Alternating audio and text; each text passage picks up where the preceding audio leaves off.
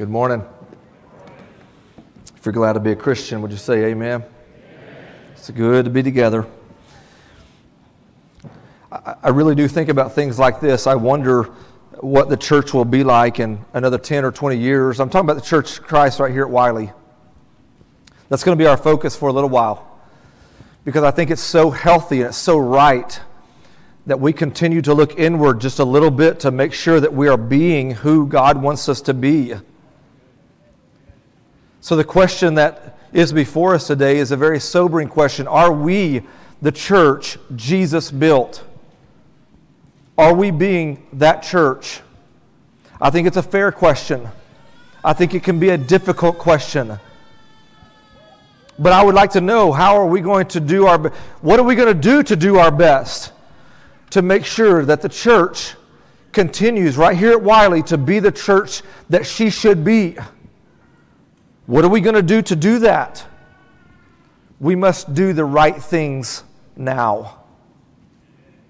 Brethren, we should do, we must do the right things now. Today we're going to be in Revelation chapter 2. And we're going to look today at the Ephesus warning. I think it's so vital that we continue to look to Scripture to see what the church should look like, how the church should operate, what her mission should be. We should study the church of Jesus Christ in Scripture so that we can guard against trying to make it look like something in our culture or even another church in our past, the church like we grew up in. I got to tell you, Jesus isn't concerned about you being the church that you grew up in. He wants you to be the church that He built. He, he doesn't want you to be the church that's down the, the, down the road or across town or out west of here or out east of here or down south of here or up north of here. He wants us, brethren, me and you, He wants us to be the church that He built. Let's look at it closely. Matthew, 9, Matthew chapter 16. Let's look at it together before we get into Revelation 2. Matthew 16 and verse 13. Here's what the gospel says. Now, when Jesus came to the district of Caesarea Philippi, he was asking his disciples, Who, who do people say that the Son of Man is? They said, Some say John the Immerser. Others say Elijah, but others say Jeremiah or one of the prophets. Okay, but who do you say that I am? Simon Peter spoke up. He likes to do that. Simon Peter said, You are the Christ, the Messiah. You are the Messiah, the Son of the living God. Jesus turns to Simon and says, Blessed are you, Simon Barjona, because flesh and blood has not revealed, there ain't no man that's revealed this to you, but my Father who is in heaven. But I say to you that you are Peter.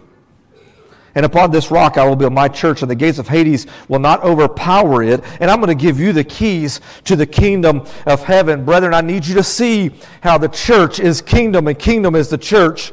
Jesus is the one who does this. He says, I'm going to give you the keys to the kingdom of heaven. And what, in other words, the kingdom of the church, or the keys to the church. And whatever you bind on earth will be bound in heaven, and whatever you loose on earth will be loosed in heaven. And clearly, this is Jesus' church that he is speaking about. And then Paul in Ephesians chapter 1 and verse 22, he says these words Ephesians 1 and verse 22 and Jesus put all things in subjection under his feet, and he gave him as head over all things to the church, which is his body, the fullness of him who fills all in all.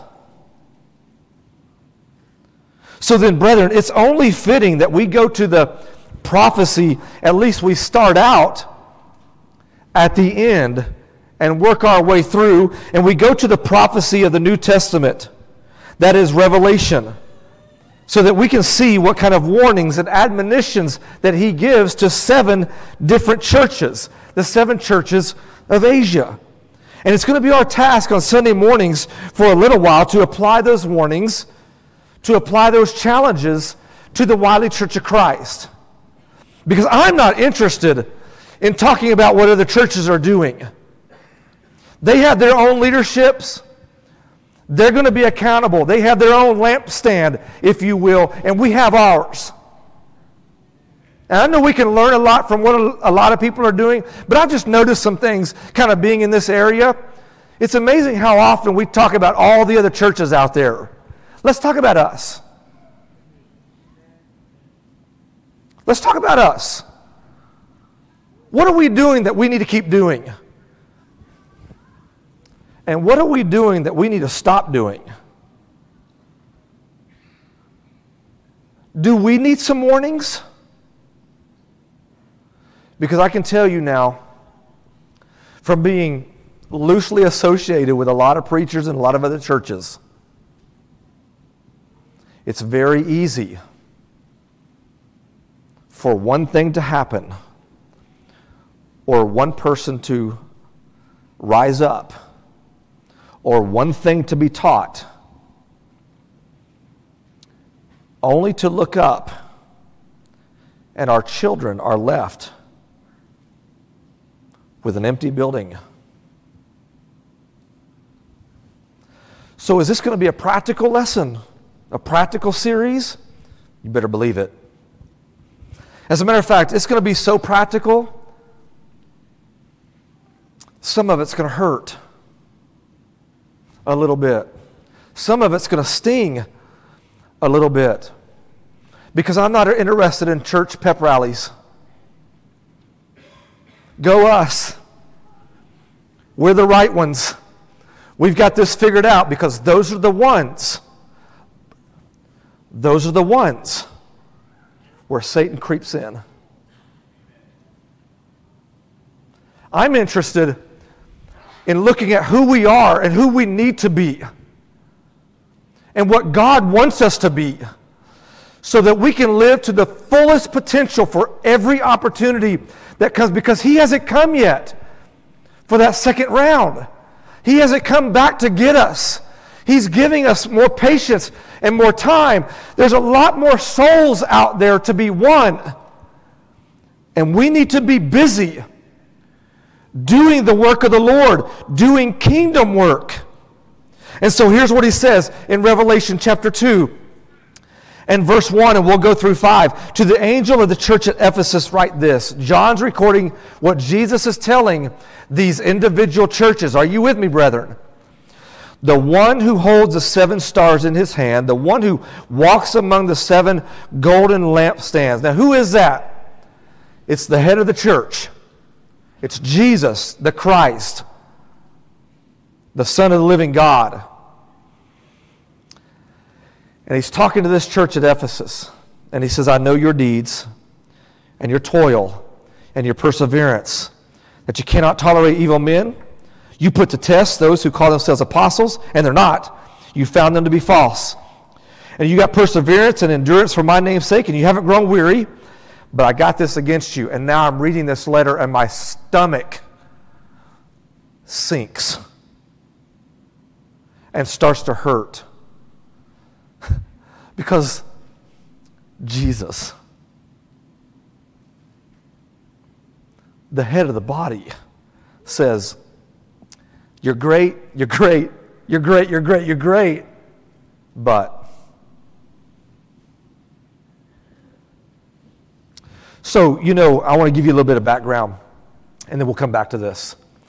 Ephesus was called the jewel of Asia.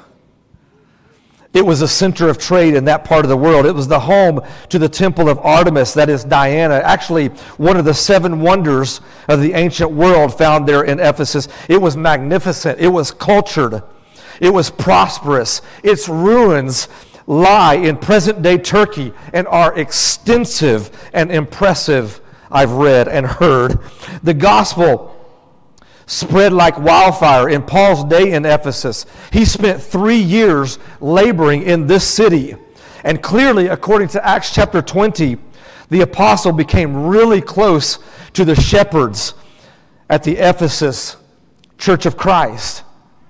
The apostle John lived in Ephesus from somewhere between 20 and 30 years of his life.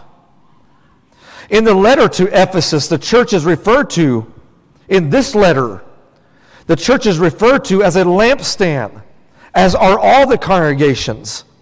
And Jesus begins this letter to this church with five or six things that they ought to keep doing well and doing right. What are they? Real quick. Man, I see your good deeds. Keep that up. Your Christian service is strong, meeting the needs of others. Keep going. Oh, and your perseverance is impressive.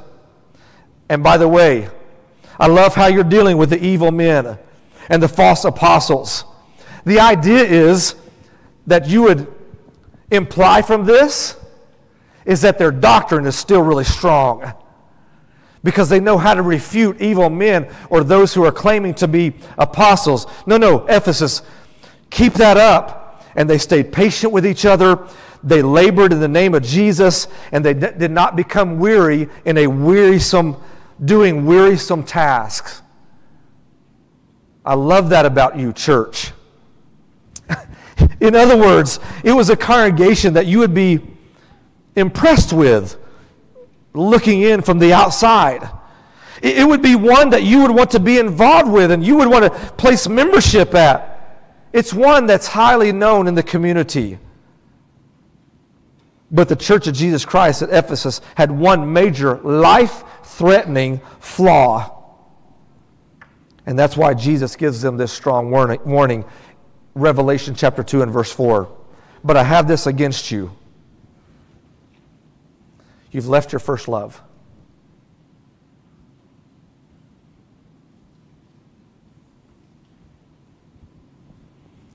Today, I want to challenge us and I want us to accept two major lessons that I've drawn out of this passage from this church to apply directly to me and to you, to every member here, to every Bible class teacher, to every senior saint that we have living faithfully, to every shepherd, to every deacon, to the preacher himself, every one of us need these two lessons. And here they are.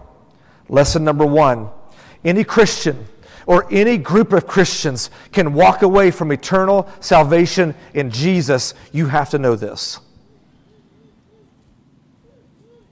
It's a sobering lesson.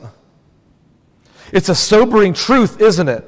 But listen, let me be clear. No external force can remove you from Christ Jesus. Are you listening this morning?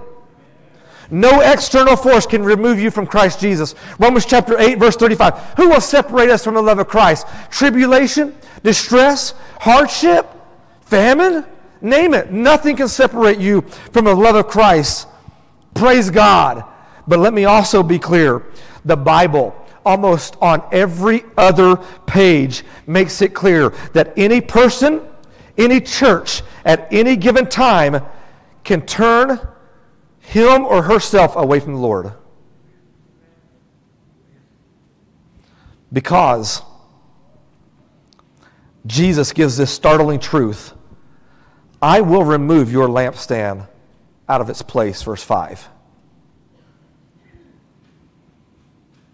You see, the Church of Jesus Christ at Ephesus was one of the lampstands. And I'll tell you, if this concept isn't true, these seven letters are of no value. They're of no value. There's this running theme throughout almost all of the seven letters. I like some of this of what you're doing, but some of this other stuff you need to change. Repentance. Repentance is a theme, one of the themes running through these letters. And if you don't, I'm going to remove your church. I'm going to remove your lampstand. Jesus makes it abundantly clear to the Christians in Ephesus that when someone loses their first love, that person can lose their soul. They're on their way to losing their soul. This is why James said what he said in James chapter 5 and verse 19 and 20. Listen to these words. My brethren, if any one among you strays from the truth, turn him back. Let him know that if he turns a sinner from the error of his ways, he will save his soul from death and cover a multitude of sins. You see, no, no external force can remove us from Christ, but an internal force can your heart.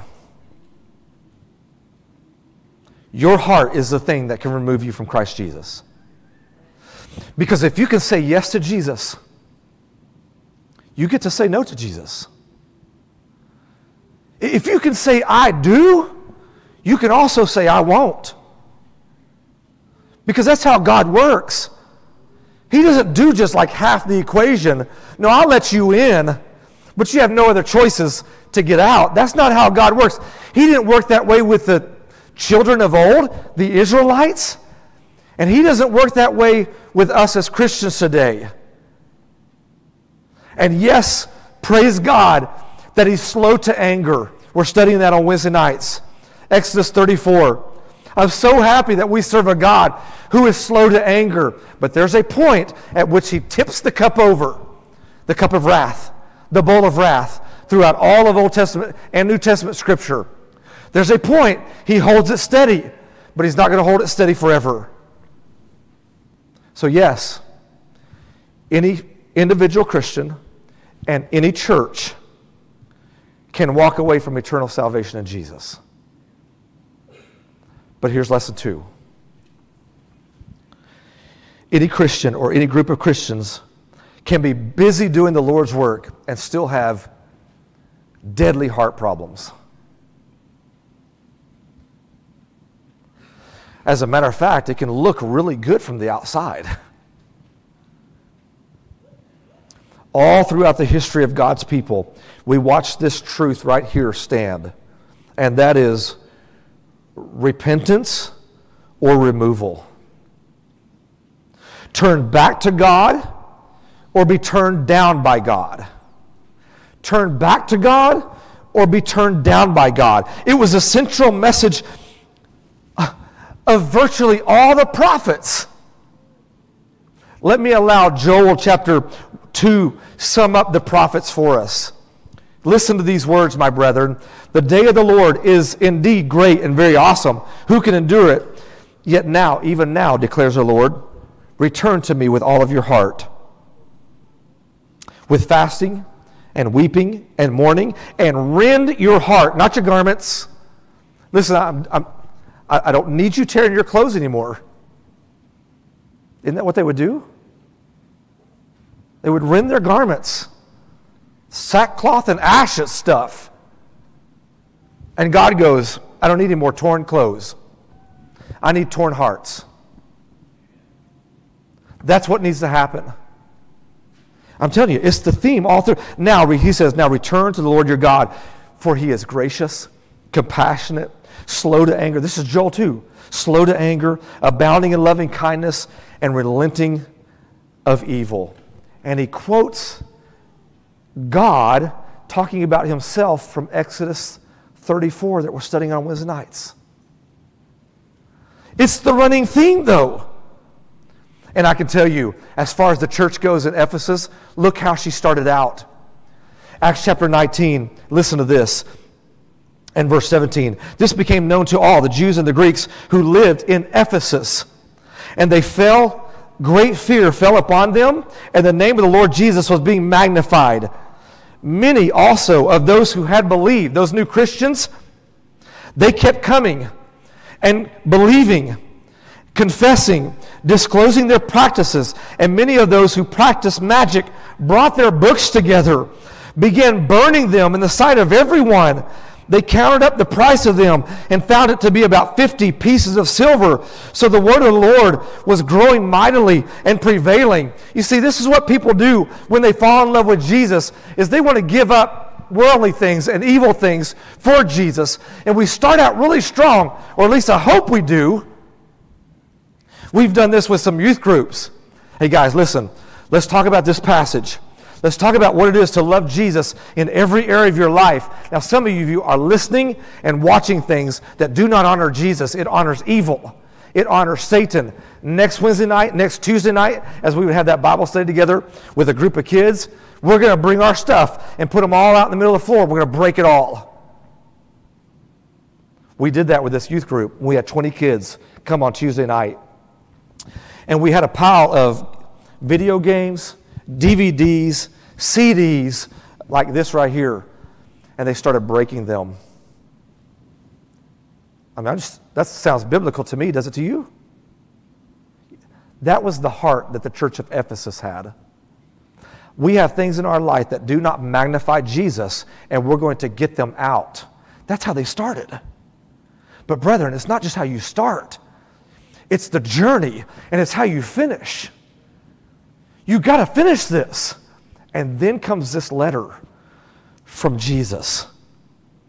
And so they started out with a tremendous change. Their love was strong, their faith was strong. They were all in with their hearts. But they were going through the motions now. I mean, it's like the man who marries the love of his life. The first 10 years or so. Difficult, but so exciting. They do everything together. And their hearts, that man and that woman, their hearts are undivided. But because he doesn't intentionally work on his marriage, and he gets all caught up in life and his career, and he doesn't keep the first things first. And even though this old boy still provides, he still protects, he still, it looks good from the outside, he's still living under the same roof, he still speaks the same language of marriage, his heart isn't in it anymore. His love has dwindled, his heart is divided. That's the church at Ephesus. I mean, you're still speaking the language of love, church. I still see what you're doing in the community. You got a great reputation, even. But on the inside, there's a deadly flaw. You've left your first love. But what love is this? Well, it's agape. It's the, it's the one we know. It's the unselfish commitment based on will type of love. But is this a love for Jesus that they left? Is this a love for others that they left? I would submit to you, yes. And yes. You know why? Because First John chapter 4 and verse 20, John, the one who wrote this prophecy, listen to what he says. If someone says, I love God, but he hates his brother, he is a liar. For the one who does not love his brother, whom he, has see, whom he sees, cannot love God, whom he's not seen. This commandment we have from him that the one who loves God should love his brother also. They're one in the same. Do you see that with me, church? What love have they lost? What did they leave? Love for others and love for God. Love for God and love for others, both. Do you know that many people go to work? Some will go to church today They'll go on family vacations and do all kinds of things in life, just daily life. Eating, drinking, being merry. And do you know it happens every day? Someone in this state, in this country, in this world, falls down dead. It looked normal. It looked healthy. They looked good. But what they didn't know is they had heart disease. They had heart trouble. The heart went unchecked. The church of Christ at Ephesus had a heart problem. She had heart disease. The church can be busy in the community. The church can teach all the right doctrine. The church can be busy with all kinds of get togethers and fellowships. But if the church is not singularly focused with undivided hearts for Jesus, then it will just become duty, a way of life, routine, religious, and just like a child who plays house. You remember when your kids were little and one day you walked in the playroom or the bedroom or the living room and they were playing house? They were playing marriage. You know what a lot of churches are doing? They're just like Ephesus. They're playing church.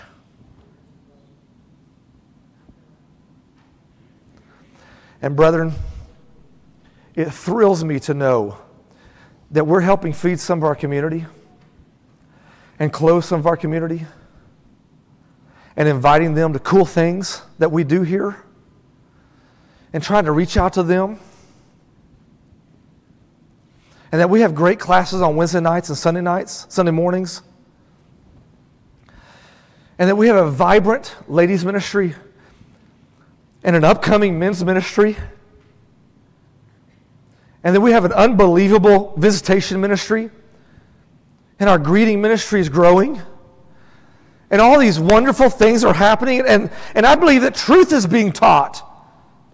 But we got to ask ourselves are we still in love with Jesus?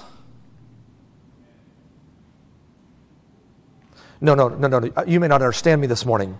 Are you? Still in love with Jesus? Or has your love for Christ grown weak?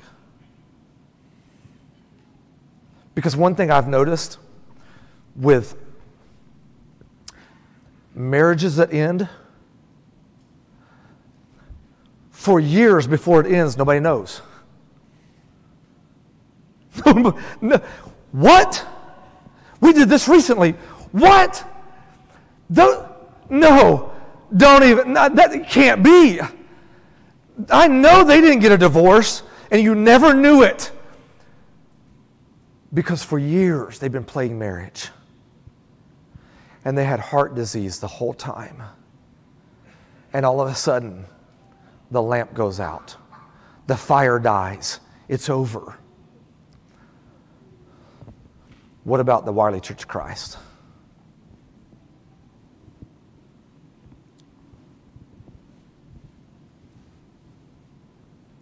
Jesus goes, No, I've got the solution though. Isn't it a beautiful thing that the Heavenly Father always provides a solution? You know what the solution is? It's verse 5. He goes, Remember, repent, and return. Use your memory. Go back to the way it started in your heads. Turn your life around. Repent. Change your, this is your choice. Change your heart and come back to me. And here's his words Do the deeds you did at first. Hey, is your marriage like that? Oh, nobody even knows. You're on the brink of this thing falling apart. Your love is lost. It's not there anymore. And really, we've been playing that this so well and people do a really good job. I'll tell you, they do a really good job at playing this off, right? They're all giggling with each other, and you're like, man, I just saw them. And they were joking with each other and holding hands. They play it off really well. And you go, how do we fix that marriage? Well, I'll tell you what. Number one, remember the way you started. You remember how you fell in love with each other? And you would literally die for each other? You do anything for that person, and you put them above you, even your, their interest above your own interest, go back and start doing those things. Go back and start doing the deeds. Start dating her again. Win her back. Be her knight in shining armor. Start being kind to her. Start lifting her above, and Jesus goes, Church, go back and start doing the things you started with. Which is what? I can't help but think Acts 19. start giving, start magnifying Jesus in your life.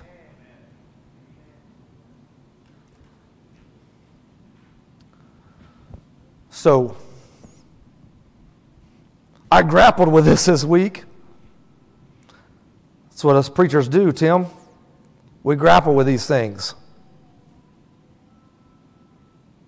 And I have to ask myself Am I busy serving in the kingdom? Am I busy laboring for the Lord? Why? Why, why are you doing it? Why, why are you working in the kingdom? Is it because it's expected? Is it out of duty? Is it because it makes you feel good? Is it because it's what you're used to? Is it tradition for you? Is it because you have a talent, you just like to use it in an area like this? Is it because people would be disappointed and hurt if you didn't? Or is it because you love Jesus and you love souls? Because I'm, what I'm afraid is the church at Ephesus, they lost their first love because they started doing it out of duty. They started serving and standing up for truth out of duty and not because they love souls. So, yes, some of you aren't involved in anything except for coming on Sunday morning, and you need to be involved. You, you need to be a part of the body of Christ. And some of us need to go, you know, I, that's not me. I'm at this and this and this and this, and my thing is this, and I'm serving here, and I'm saying a prayer, and I'm teaching, and I'm serving, and I'm leading, and I'm doing. Why? Why? That's your question. Because my challenge is simple I decided I don't, I don't know how, how else to do this with you except for put the challenge like this Have you left your first love?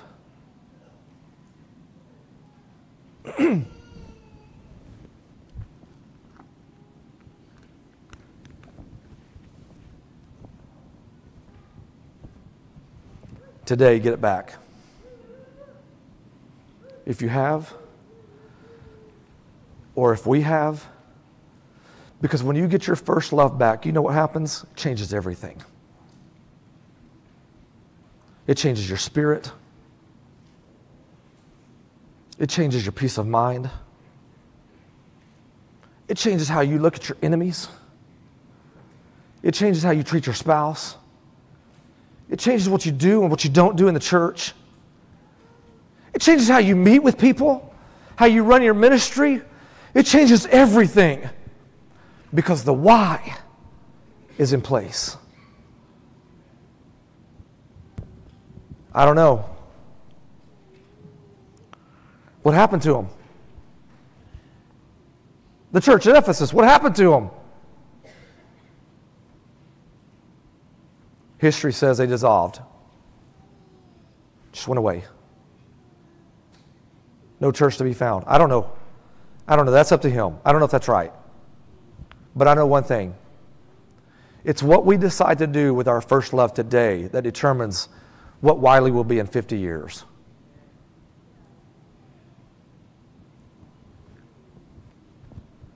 As we stand and sing together.